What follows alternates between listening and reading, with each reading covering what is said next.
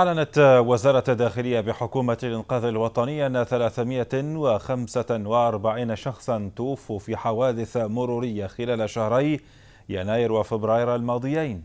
وأوضحت الوزارة في إحصائية للحوادث المرورية والإيرادات المالية لشهري يناير وفبراير الماضيين نشرتها عبر موقعها الرسمي أن 600 شخص وشخصا أصيبوا في هذه الحوادث من إجمالي 721 حادثة سير. كما أشارت إحصائية وزارة الداخلية في حكومة الإنقاذ إلى أن قيمة الخسائر قدرت بنحو ثلاثة ملايين دينار ليبية.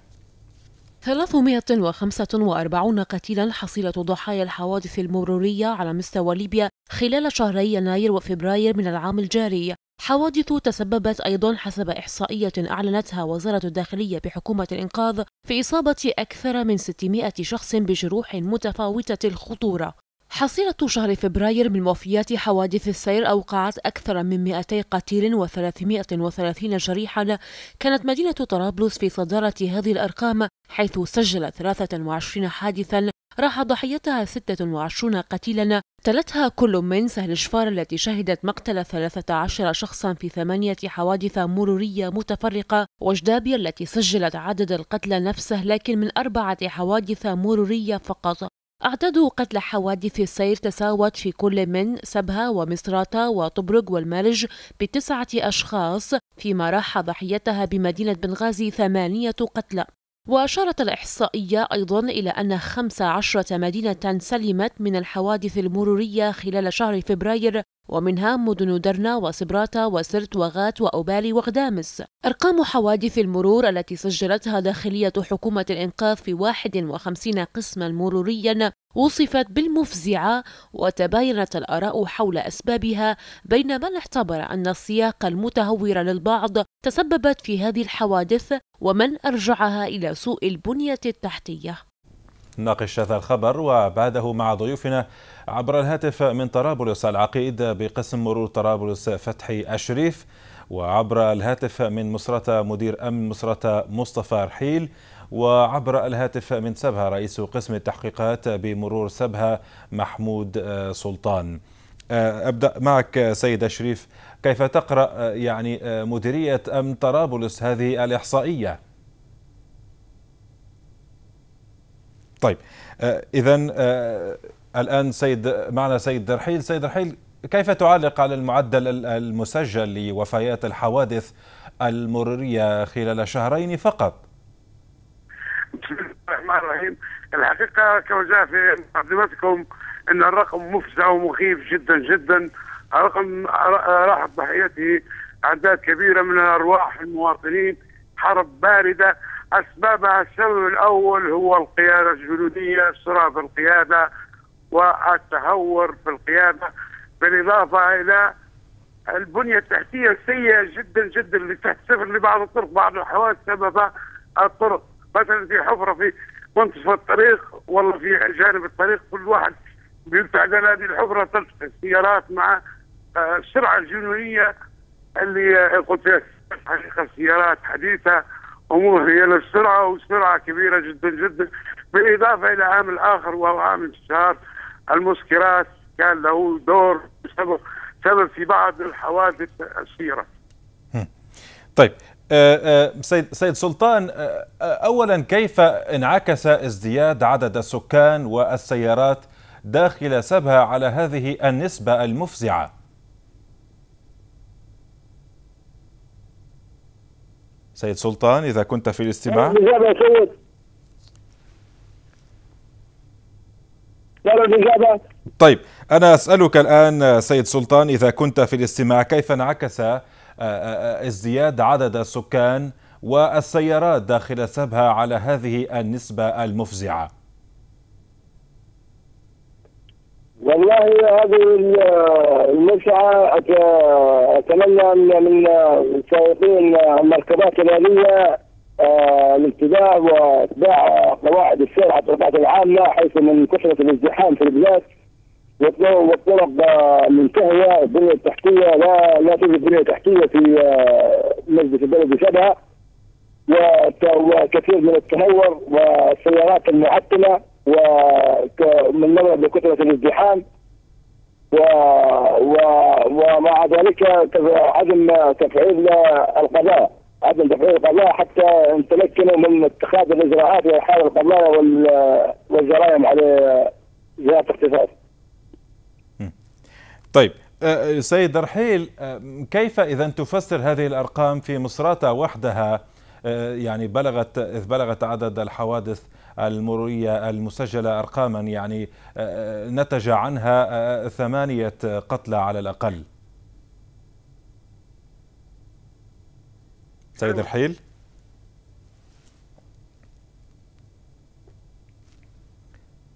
سيد الحيل إذا كنت معنا. طيب سيد الحيل أسألك كيف تفسر هذه الأرقام في في مصراتة يعني يعني أرقام مفزعة لربما للحوادث المرورية المسجلة؟ الحقيقة كما ذكرت اكتظاظ كبير جدا بسيارات مدينة مصراتة نتيجه ظروف في المدن الغير آمنة والقادمين منها الاقامه في مدينة مصراتة حتى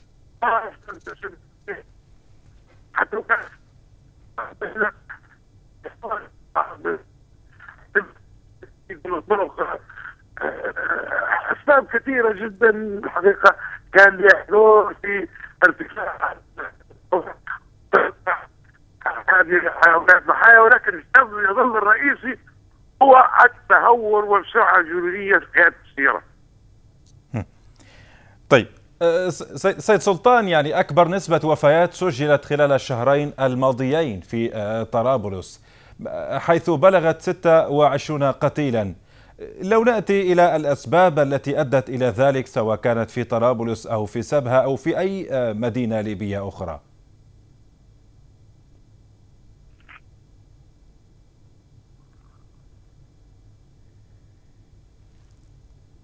سيد سلطان سألتك أنه نعم. أكبر نعم. نعم أكبر نسبة وفيات سجلت خلال الشهرين الماضيين آه، في آه، طرابلس حيث بلغت 26 آه، قتيلا. ما هي الأسباب التي أدت إلى ذلك برأيك؟ الأسباب التي أدت في رأيي إلى عدم التهور عدم التهور وعدم إتباع قواعد السير. وعدم وعدم آه، وعدم إصلاحية البنية التحتية.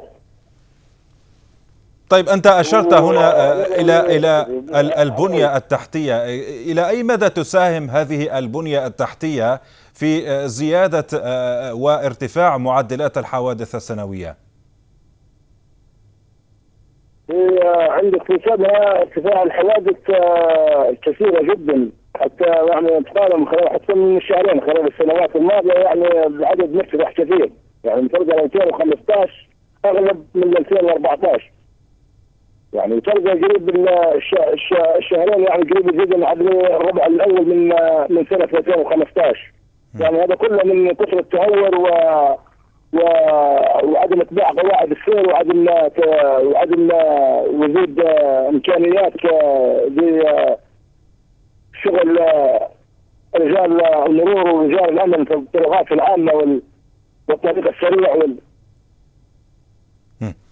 طيب سيد رحيل يعني لو نأتي إلى إلى نقطة رخص القيادة وكيفية اكتسابها سيد رحيل يعني هل طيب اذا اذا سيد رحيل لم يعد معنا أعود إليك سيد سلطان. مسألة آه، آه، الرخص هنا آه، هل الإجراءات لاكتساب هذه الرخصة تساهم إذا ما كانت هذه الإجراءات سهلة تساهم في معدلات الحوادث السنوية؟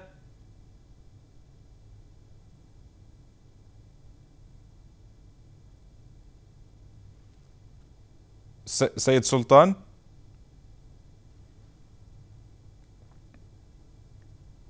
سيد سلطان إذا كنت في الاستماع سألتك عن آه، آه، إجراءات إجراءات اكتساب آه، رخصة القيادة ما إذا كانت سهلة وبالتالي لربما ستساهم في ارتفاع معدلات الحوادث السنوية. طيب اذا أنقل السؤال للسيد أرحيل. سيد أرحيل يعني هل هل هناك تساهل لربما في إجراءات يعني اكتساب رخصة القيادة. يعني إذا ما كانت تساهم في ارتفاع معدلات الحوادث السنوية سيد رحيل والله بالنسبة لرخصة القيادة الإجراءات اللي مستمرين بها وبالإجراءات المعتادة يعني المستندات المطلوبه ويجرى امتحان آه، ترخيص قيادة. يعني ما فيش مشكلة في القيادة. وفي هناك أشخاص يرسبون ويعيدوا الامتحان أكثر من مرة. الملاحظة اللي نضيف عليها أماكن حوادث السير عندنا إحنا في أماكن حوادث السير بالسابق كان نقولوا نخاف سوداء. تكثر فين الحوادث نديروا لها حلول. لكن الآن أصبحت حوادث قتل داخل المدينة. قبل كان على الطريق الساحلي على الطرق السريعة في أماكن معروفة. نديروا لها في إجراءات مرورية إشارة ضوئية يعني ما يسمى بالمطب. نديروا لها أي إجراء ولكن الآن اصبح كل مكان والنتيجة السبب الرئيسي والسبب السبب الرئيسي اللي نبه عليه جميع مواطنينا هو التهور والسرعة الجنونية هو السبب الرئيسي في حوادث يعني كان في السابق مثلا حادث داخل المدينة يجي بسيط يتفاداه يبقى سرعه بسيطه لكن أسعد السرعه الجنونيه حتى داخل المدينة وحوادث قتل داخل المدينة يعني الشوارع اللي في داخل المدينة.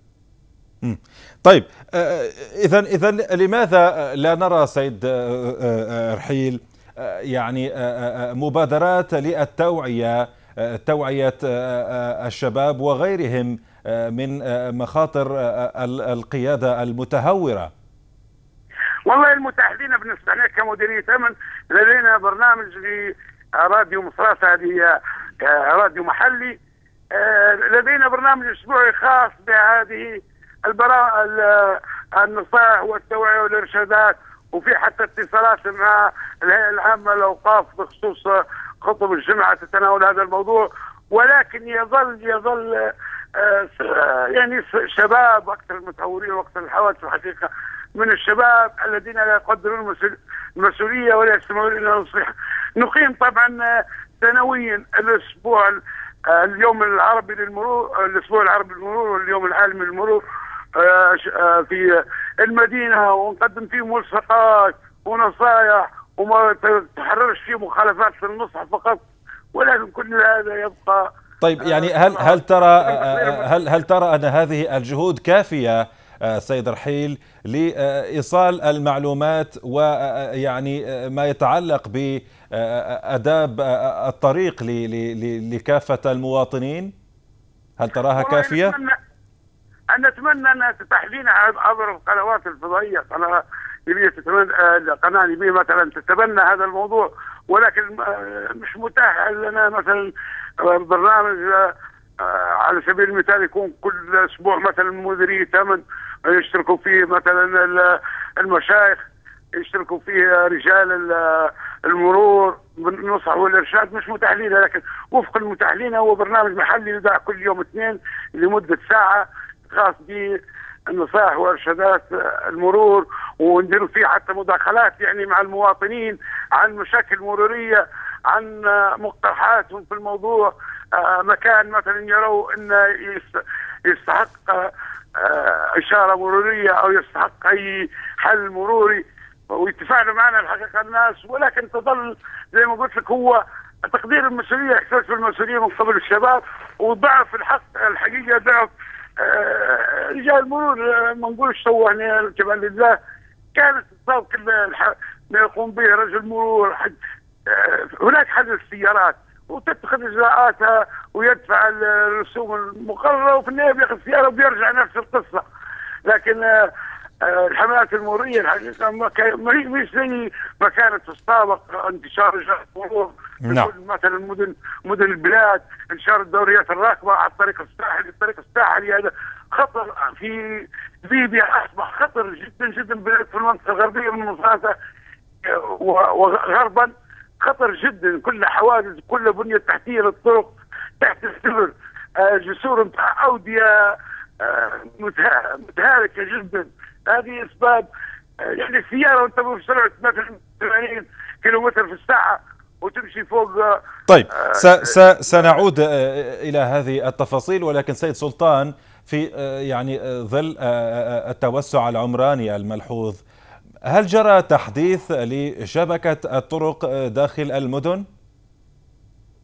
لا بالنسبة بالنسبة عندنا في مدينة سبها لم تحدث أي صيانة للطرق العامة داخل ولا خارج مخطط ولا داخل المجلس البلدي. طيب يعني الطرق الآن تكاد تكون متهالكة في جميع مدن البلاد ما هي الإجراءات التي ممكن بإمكانكم القيام بها؟ ولا وألا تراها تساهم كثيرا في هذه الحوادث؟ والله اللي ساهم بها عدة مرات يعني قمنا بمخاطبة جهات الاختصاص مثل عميد البلدية على الطرق وعلى الحفر اللي داخل البلاد وعلى إصلاح الإنارة حتى تساعد في الانارات الاشارات الضوئيه حتى تساعدنا في في الطريق وفي لا في في السير داخل المدن نظرا لكثر الحفر و و يعني انتهاء صلاحية الطرق الكثيرة الكثيرة منها يعني داخل المدينة منتهى صلاحيتها الحقيقة من حفر ومن كذا وقوموا في بعض من المواطنين الحقيقة بارك الله فيهم. يعني في جمعيات خيرية يعني في في اللي يجيب شوية قطران في اللي يجيب يعني بعض من الشرشور والحاجات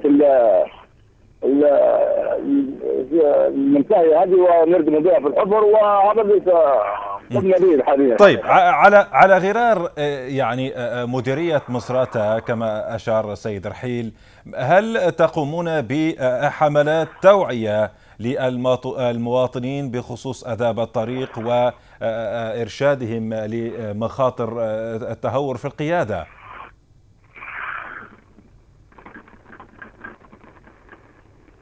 نعم سيد سلطان. نعم نعم عرض سؤال. سألتك على غرار مديرية مصراتة التي قامت بعدة حملات توعوية لأداب الطريق كما أشار السيد رحيل هل قمتم أو تقومون بهذه الحملات التوعوية؟ نعم نعم قمنا بعدة محاولات و قمنا بعدة محاولات و و و اعلانات و يعني اعلانات وعده توعيات يعني مروريه في في الشوارع داخل داخل المدن وعلى الطرق الساحلية ببلديه سبها طيب سيد سيد رحيل يعني يكاد يكاد ما يميز الطرق في ليبيا هو غياب الإشارات المرورية. ما دور ذلك في زيادة وارتفاع معدلات الحوادث؟ وما دوركم أنتم في يعني توفير هذه الإشارات المرورية ل يعني ترتيب وترتيب الطريق من جميع آلياتها. الحقيقة الاشارات المروريه لها دور كبير وحتى واللي موجودة من يلتزم بهذه الإشارات المروريه إحنا في مديريه المواصلات الحقيقة بالتعاون مع ونصنع في هذه اللوحات محليا ونتم تركيبها ولكن من يلتزم بهذه الإشارات؟ هي هذه القصة اللي آه ترقنا الحقيقة هي الالتزام بقواعد واهداف المرور. يعني نديروا الإشارات إشارات ضوئية. آه الحقيقة ما نظلمش كل المواطنين بالنسبة للإشارات الضوئية. مرات ينقطع الكهرباء الإشارات الضوئية تجد الناس بانتظام بتقدير هيك تقدير الوقت المحدد ليه ويخرجوا بشكل والله مثير للاعجاب الحقيقة. ولكن يظل هناك المتهورين الذين يستخدمون الاشاره الحمراء. يعني اللي يستخدم الاشاره الحمراء هذا الشروع في القتل. يا اما هو يقتل هو يقتل طيب في بصدد هؤلاء المتهورين سيد سيد سيد رحيل يعني هل تقومون بتقييد مخالفات جزائية لهؤلاء المخالفين لهذه المخالفات؟ طيب اذا اذا أذهب الآن للسيد فتحي شريف العقيد بقسم مرور طرابلس. سيد شريف بداية كيف تقرأ يعني مديرية طرابلس هذه الإحصائيات؟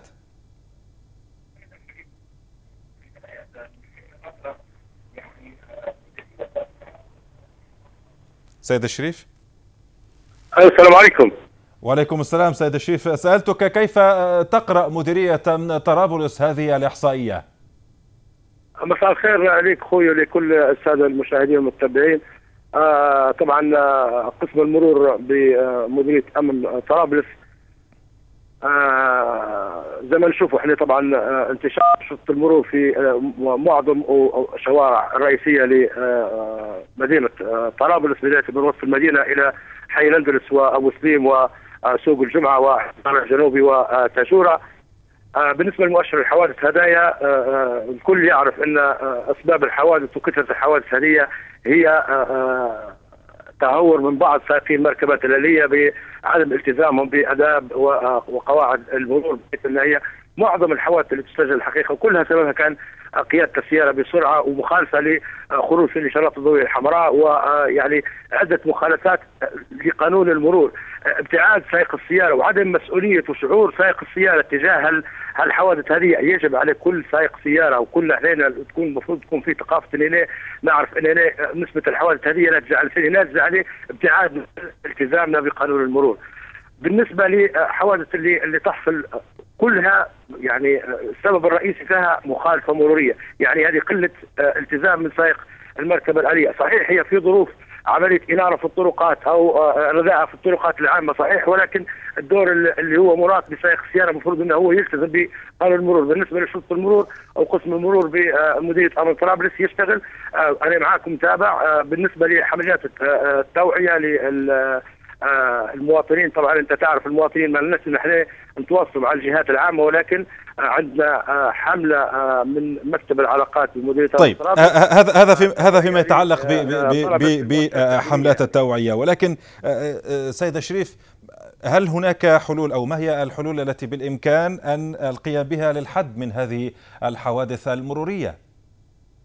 آه شوف أخوي بالنسبة لمدينه طرابلس آه آه المدة الماضية دعمت قسم المرور طرابلس بعدد 3000 عضو شرطة بقسم المرور منقسم إلى ست وحدات مرور دفعا بتسيير أكبر عدد من الدوريات على الطرقات العامة داخل طرابلس. بالنسبة للحوادث هذه أخي يعني السبب الرئيسي فيها هي قلة الوعي من المواطن، قلة الوعي، أنت عارف إنك أنت لما بتخالف قانون المرور بتسبب في حادث مرور، بتسبب في ازدحام، هذه يجب تعاون خوتنا المواطنين إنهم يلتزموا بقانون المرور، وبالنسبة لتفسير المخالفات توجد احصائيات في طرابلس ضبطيات لمخالفات مرور، هناك قضايا محالة على النيابة، مخالفات فوريه يعني تحرر المخالفات طيب يعني هذه هل هذه المخالفات تعتبر رادعة برأيك؟ بالتأكيد بالتأكيد. بالتأكيد ضروري من إنه يتفعل قانون المرور وتصبح فيه ضبطيات ومخالفات واللي يخطأ ينال الجزاء نتاعها وهذا الكلام هذا ضروري. إذا كان شرطي المرور مش حيكون متواجد في الشارع أو إنه هو متواجد نعم. في الشارع مش قايم بدور إنه بيضبط المخالفات المرورية. أنا شنو ندير شرطي المرور واقف في الشارع وقدامي ناس تخترق الاشاره الضوئيه الحمراء أو انه واحد ماشي وماهوش معاه مش معاه الوثائق نتاع سيادته؟ يجب علينا كشرطي مرور ان نحرر إيصال مخالفة ونضبط الشيء هذايا. للحد من الحوادث والحد من الاختراقات والازدحام طيب. ولكن يعني ضروري يوصل عندنا إحنا وعي مروري. حتى وقوفنا في الطرقات العامة. إحنا كنا نتضايق من الازدحام ونتضايق من الاتجاه المعاكس. يعني كلها مخالفات فردية تجاوزات من البعض ولكن الحقيقة ما نظلموش الناس اللي هي ملتزمة بقانون المرور ويعني إحنا بنقول بصريح العبارة يعني يتحشى منها حد مرور يوقف ولا كلمه فحتى وقوفنا بالسيارة تصبح على الارصفه طيب اذا اذا إذا دعني دعني سيد الشفاء يعني أنتقل للسيد السلطان. سيد سلطان ما هي الحلول الجذرية التي من شأنها أن تقلل هذه النسبة؟